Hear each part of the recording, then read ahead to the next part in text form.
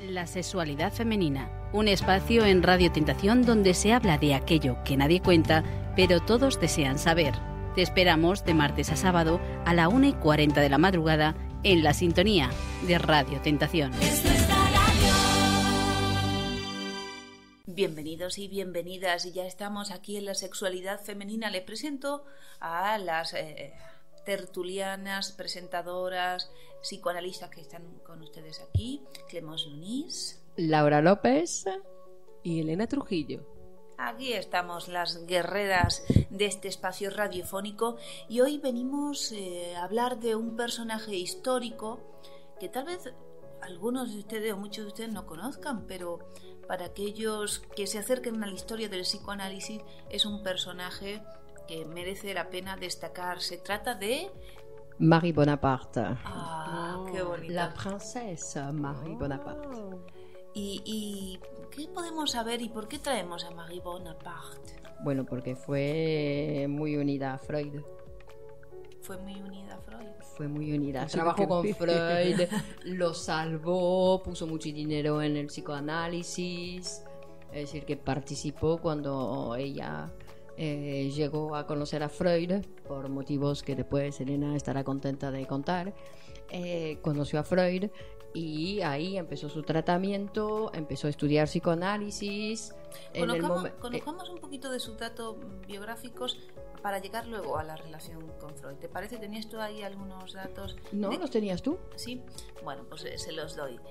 Marie Bonaparte nació en Saint-Cloud en 1882, es sobrina. Pero ¿dónde está Saint Cloud? Eh, Lo dices así como si es en París, París, a côté de París, al lado de París. París.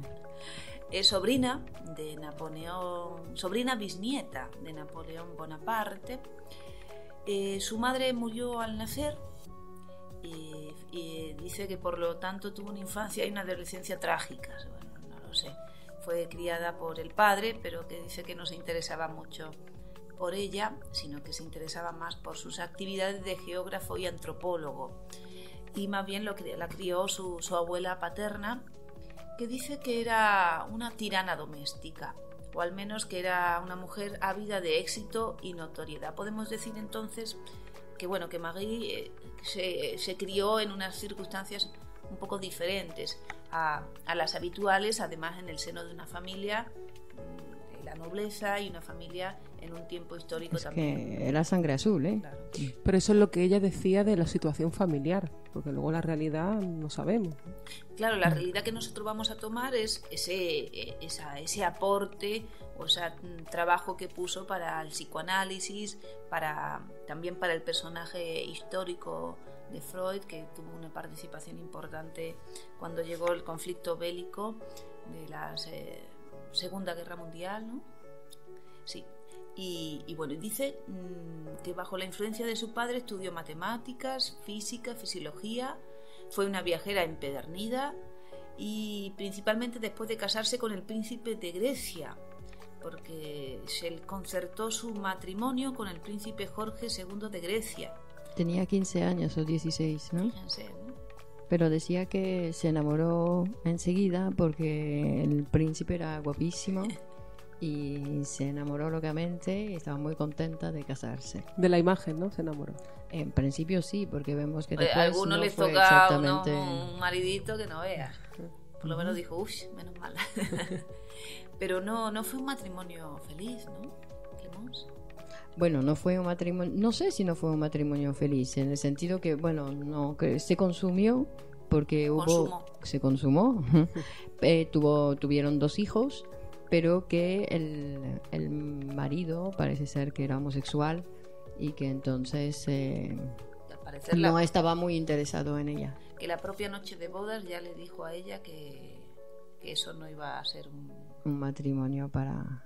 que tenían que hacerlo porque era su obligación, pero, Ah, sí, que era una obligación. Que él pero ya que él no la tenía. amaba, Ujú. ni estaba interesado en amarla. Sufrió una gran frustración desde el primer día de matrimonio. Podemos pensar, pero eso es una...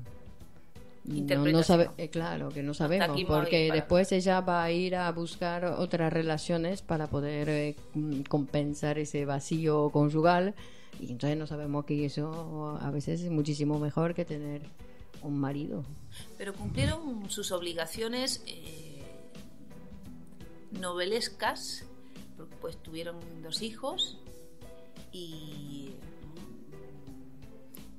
parece que era una mujer noble. ¿no? Dice que cuando visitó a Freud en Viena en 1925, por consejo de René Lafort, estaba al borde del suicidio y acababa de publicar bajo el seudónimo de Nahani un artículo en el cual ponderaba los méritos de una intervención quirúrgica que estaba de moda en esa época, que consistía en acercar el clítoris a la vagina.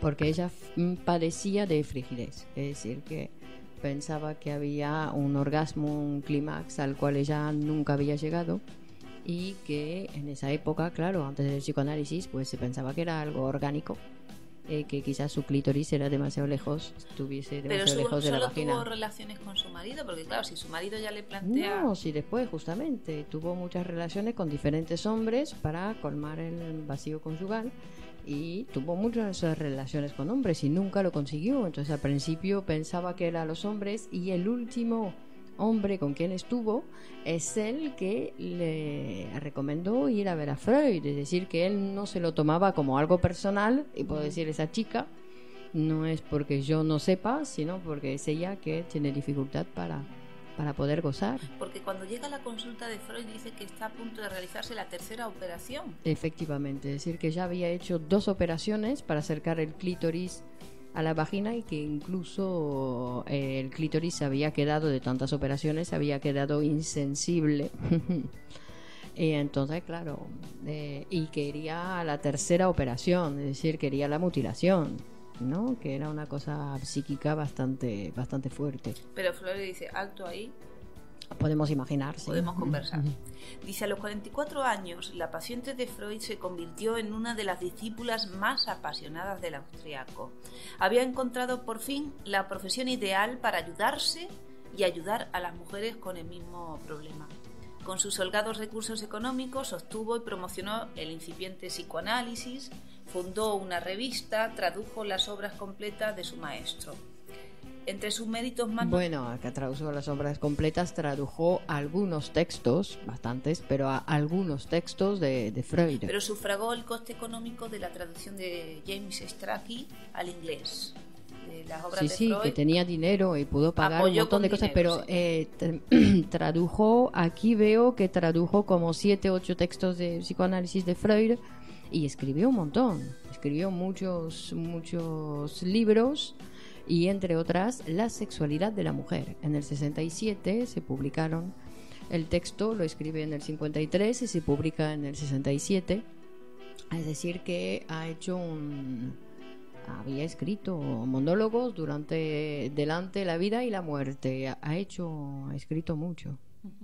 Y es interesante también porque en el año 1938 ayudó a Freud y a su familia que estaban arrestados por la Gestapo, a escapar de Viena y refugiarse en Inglaterra. Gracias a esa intervención, pues pudo, pudo Freud salvarse de, bueno, de, las acciones. Sí, que salvó, no solamente salvó a Freud, a ¿no? más de 200 intelectuales y personas eh, relevantes. Eh, gracias a, a, su ayuda. Era una persona generosa.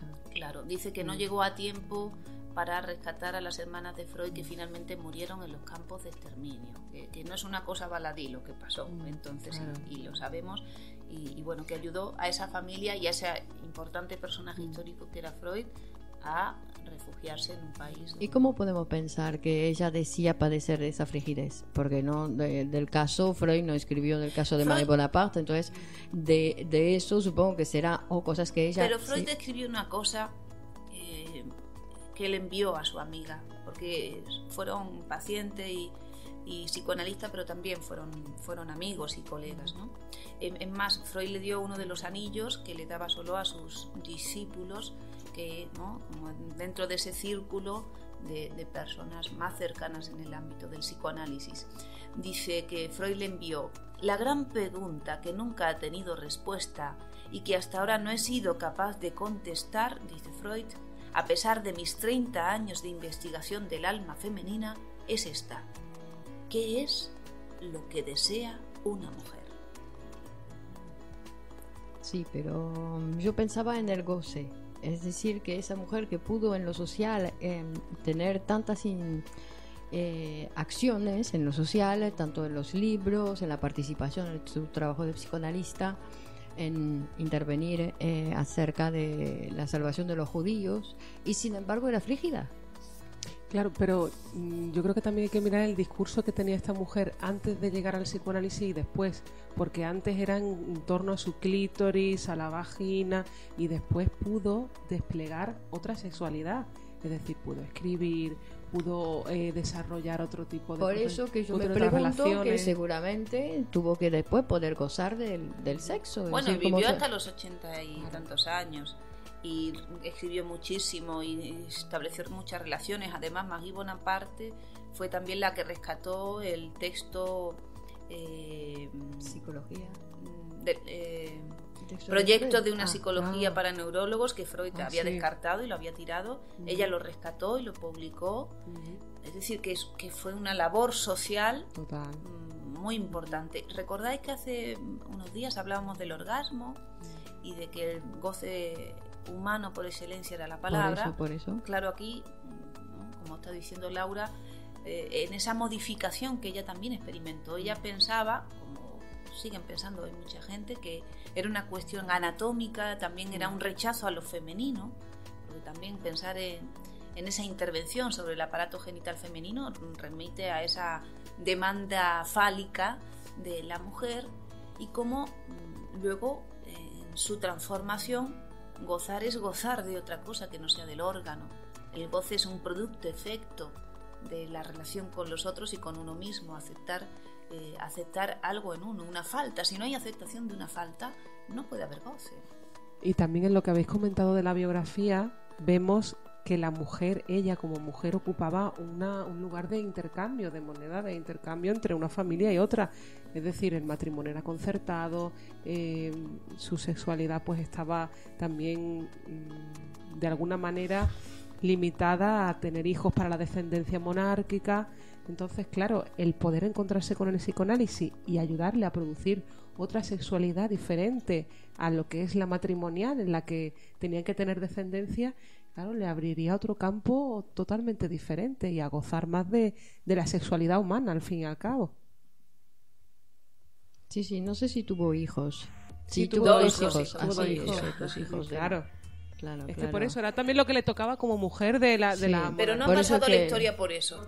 ¿no? Lo que tú dices. eh, ella le tocó ser una moneda de intercambio como muchas mujeres fueron, donde no pudieron ni siquiera optar por elegir su amor, sino que otros eligieron por ella y además un- una pareja que no la, que no la amaba, no la deseaba pero que ella pudo construir otros deseos en su vida que le han hecho formar parte de la historia, al menos de la historia del psicoanálisis, como alguien que, que entró como paciente para tratar eh, una, una demanda de ella, pero que luego pudo transformar en, en, bueno, en alguien que, que- que hizo cosas por la humanidad, es decir, rescató o salvó a un científico eminente, po- ayudó a, a traducir sus obras, ayudó a, también a fundar eh, asociaciones psicoanalíticas, revistas, es decir, que en esos ochenta y tantos años de vida su labor social, es decir, decimos que gozó, esa mujer gozó y permitió además, que es mucho más importante, que otras personas gozaran, porque ayudó a la salud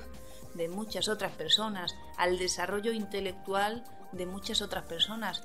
Y la generosidad mayor del amor humano no es gozar echando un polvo, es ayudando a otras personas a crecer, siendo generoso. Y ahí tenemos que decir que es el mayor nivel de goce. Ok, entonces fue una mujer que pudo... Fue una gozar- gozadora. pudo gozar de la vida en toda su amplitud y además que dejó marca. Ay, Marie, Marie. Una salvadora. Una salvadora. Gracias Magui porque, bueno, nosotras también nos hemos beneficiado de tu trabajo, de tu trabajo y de, mm, de apoyar con, con tu dinero, con tu trabajo, con tu estudio y con tu alma de mujer para que las mujeres del futuro pues también tuvieran otras opciones diferentes a esa mutilación genital que todavía hay muchos lugares en el mundo donde las mujeres son mutiladas genitalmente, mutiladas intelectualmente, mutiladas socialmente, para que no puedan desplegar su riqueza femenina. Recordamos que lo femenino es lo más reprimido en el mundo. Sí, voy a aportar una... Eh, no, porque quería decir también de Marie Bonaparte, porque no solamente es todo el trabajo que hizo, sino es el ejemplo. Mm. Es decir, que es una mujer que pudo todas esas cosas, y si ella pudo, cualquiera, con un poco de trabajo, porque claro, tuvo que trabajar. Mm. Y quería subrayar, hablando de la represión hacia la mujer, que en España, en 2012, em, el gobierno español cerró la oficina de la ONU Mujeres eh, eh, cerró la oficina de la ONU Mujeres. Es decir, que España deja de aportar fondos a la agencia y no abonará los 5,2 millones de euros de este año. y dice que la oficina no suponía gasto para las arcas españolas. Es decir, que eh, hay una represión.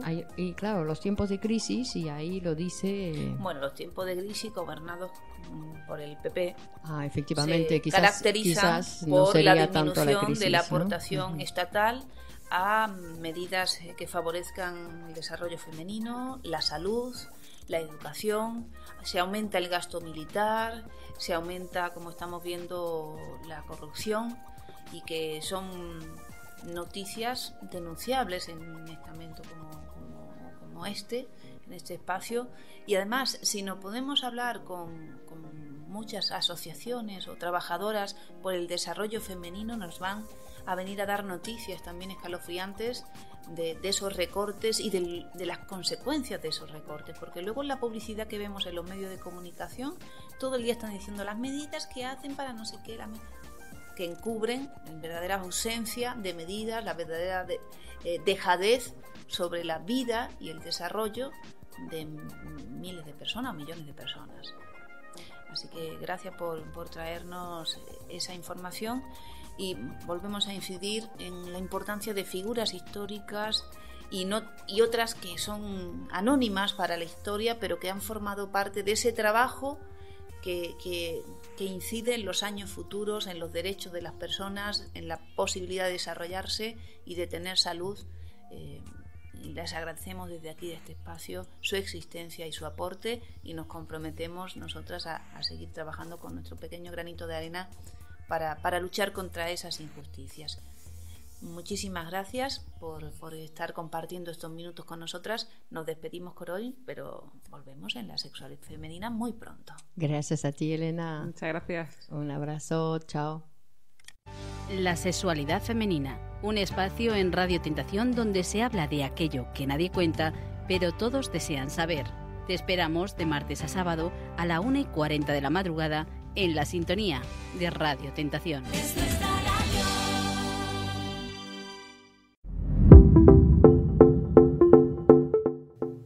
Con Servicios Lunis, aprende un idioma con profesores de calidad.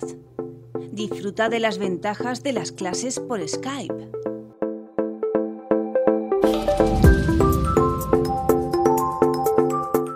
¿Por qué elegir una buena profesora? Porque una buena profesora transmite y eso facilita el aprendizaje. Ahorras dinero y ganas tiempo. Aprende bien y rápido los dos meses que llevo en estas clases me ha ayudado muchísimo. Te motiva a que estudies en cada clase para que no te quedes atrás. Los diálogos, los debates creados en clase, las correcciones escritas, la flexibilidad de horarios. Estas clases son únicas, especiales y con un toque de incertidumbre. Te mantiene siempre ese, ese grado de ilusión, de deseo por aprender. Y bueno, con algo de optimismo por, por aprender cada día un, un nuevo reto. Os la recomiendo y realmente la recomiendo al 100%. Cuando un profesor está formado para transmitir, facilita, agiliza y motiva el aprendizaje. Cuidar la formación del profesor es cuidarte a ti.